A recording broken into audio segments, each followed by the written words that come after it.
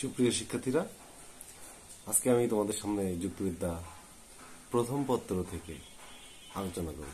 আজকে যুক্তিবিদ্যা প্রথম পত্রের চতুর্থ অধ্যায় বিধেয়ক থেকে আলোচনা করব। আজকে আলোচনাটা অত্যন্ত ক্ষুদ্র, অত্যন্ত ছোট একটি আলোচনা, কিন্তু বোঝার অনেক বিষয় আছে। আজকে আলোচনার বিষয় হচ্ছে বিদেহ এবং বিধেয়ক এই দুইটাই আসলে কি এবং এদের মধ্যে পার্থক্যটা কি? আমরা আজকের এই ভিডিওর মাধ্যমে বিধেয় এবং বিধেয়ক এই দুটি শব্দের মধ্যে পার্থক্য আলোচনা করার চেষ্টা করব। আশা করি তোমরা মনোযোগ দিয়ে আজকের আলোচনাটি শুনবে। আমি মোহাম্মদ ইফতেখারুর রহমান, প্রভাষক, দর্শন বিভাগ, গাইবান্ধা সরকারি কলেজ, গাইবান্ধা। তাহলে এখন আমাদের ভিডিওতে আসা যাক। এখন আমাদের আলোচনায় আসা যাক। আজকের আলোচনার বিষয়। আমি যেহেতু আগেই বলেছি যে বিধিহ এবং বিধিহক কি, সেই বিষয়ে আলোচনা। আমরা প্রথমে বিধিহ কি, এই বিষয়টা আসলে আমরা জানব। আসলে আমরা জানি যে একটি যুক্তি বাক্যে তিনটি অংশ থাকে। একটি উদ্দেশ্য, একটি সংযোজক আর একটি হচ্ছে বিধেয়। তাহলে একটি যুক্তিবাক্য গঠিত হয় তিনটি পদ দ্বারা। যেমন একটি উদাহরণ দেই যে, মানুষ হয় মরণশীল। এইখানে মানুষ হচ্ছে উদ্দেশ্য, হয় সংযোজক এবং মরণশীল। এটি হচ্ছে বিধেয়। তাহলে উদ্দেশ্য কাকে বলে? উদ্দেশ্য হচ্ছে যাকে উদ্দেশ্য করে কোনো কিছু স্বীকার করা হয় বা অস্বীকার করা হয়, তাকে উদ্দেশ্য বলে। বিধেয় কাকে বলে? যাকে দ্বারা উদ্দেশ্য সম্পর্কে কোনো কিছু স্বীকার বা অস্বীকার করা হয়, তাকে বিধেয় বলে। যেমন আমরা উদাহরণটাতে ফিরে যাই, মানুষ হয় মরণশীল। এখানে মরণশীলতা হচ্ছে বিদেহ এবং মানুষ হচ্ছে উদ্দেশ্য। কেননা এই উদ্দেশ্য সম্পর্কে, উদ্দেশ্য মানুষ, এই পথটি সম্পর্কে মরণশীলতা দ্বারা কোনো কিছু স্বীকার করা হচ্ছে। মানে মানুষের ক্ষেত্রে মরণশীলতা স্বীকার করা হচ্ছে। আরেকটা উদাহরণ দেই, যেমন মানুষ হয় দ্বিপদ।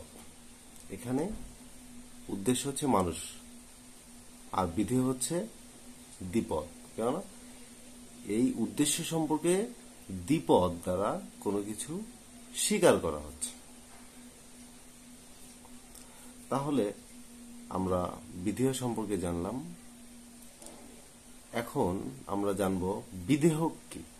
বিধেয়ক বিধেয় এবং বিধেয়ক দুটি আলাদা শব্দ।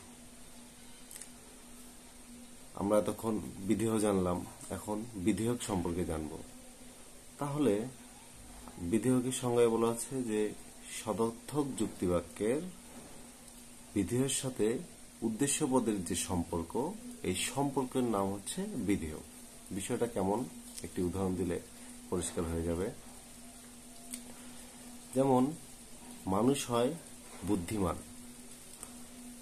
এখানে উদ্দেশ্য হচ্ছে মানুষ, বিধেয় হচ্ছে বুদ্ধিমান। এই যে মানুষ এবং বুদ্ধিমান, এই দুইটি পদের মধ্যে যে সম্পর্ক, এই সম্পর্কের নাম হচ্ছে বিধেয়। বোঝা গেছে ব্যাপারটা? বিধেয়ক আসলে একটি সম্পর্কের নাম। আরও একটি উদাহরণ দেই, যেমন গরু হয় চতুষ্পদ। এই যে গরু এবং চতুষ্পদ এই দুইটার মধ্যে যে একটা সম্পর্ক বিদ্যমান, এই সম্পর্কের নাম হচ্ছে বিদেহ।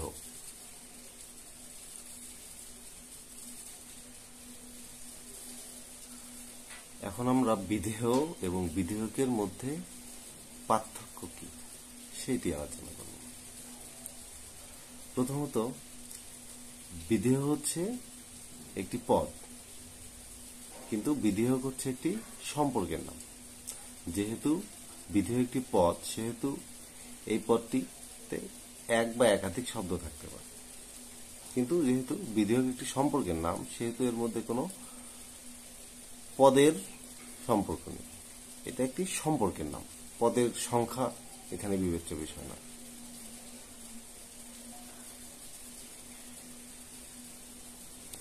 দ্বিতীয়ত, সদর্থক এবং নয়ার্থক। এই দুইটা প্রকার যুক্তিবাক্যেই বিধেয় বর্তমান বা বিধেয় থাকতে পারে। কিন্তু বিধেয়ক হতে গেলে অবশ্যই সেটা সদর্থক যুক্তিবাক্য হতে হবে। কেননা, যদি যুক্তিবাক্যটি নয়ার্থক হয়, তাহলে সেটা অস্বীকার করে। এই কারণে নয়ার্থক যুক্তিবাক্যে বিধেয়ক সম্ভব না। তৃতীয়ত বিধেয়কটি বিশিষ্ট পদ হতে পারে। কিন্তু যেসব যুক্তিবাক্যে বিধেয় একটি বিশিষ্ট পদ, সেসব যুক্তিবাক্যে বিধেয়কের আসলে কোনো প্রশ্ন ওঠে না। কেননা একটি বিশিষ্ট পদ অসংখ্য গুণের নির্দেশ করতে পারে। যে পদটা আসলে একটি বিশিষ্ট, তার গুণ অনেক থাকতে পারে। এইরূপ পদ সম্বলিত কোনো যুক্তিবাক্যের উদ্দেশ্যের সাথে বিধেয়ের কোনো সম্পর্ক আসলে সঠিকভাবে নির্ণয় করা যায় না। প্রিয় শিক্ষার্থীরা, বিধেয় এবং বিধেয়কের এই আলোচনা বিধেয়কের সংজ্ঞা, বিধেয়ের সংজ্ঞা, বিধেয় এবং বিধেয়কের মধ্যে যে পার্থক্য, আশা করি তোমরা বুঝতে পেরেছ। যদি কোনো প্রশ্ন থাকে, তাহলে তোমরা সেই প্রশ্নটি করতে পারো। আশা করি এই ভিডিওটি তোমাদের উপকারে লাগবে। তাহলে আজকে এই পর্যন্তই। ধন্যবাদ সকলকে। তোমরা সবাই ভালো থাকো।